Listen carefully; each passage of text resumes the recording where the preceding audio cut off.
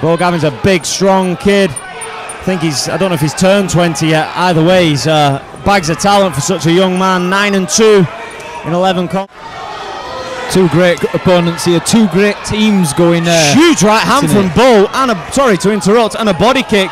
Stringer very much on the back foot.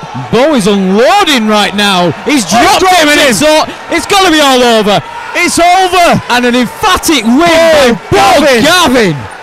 And now, amateur AFC lightweight champion in a blue corner, Bo Gavin.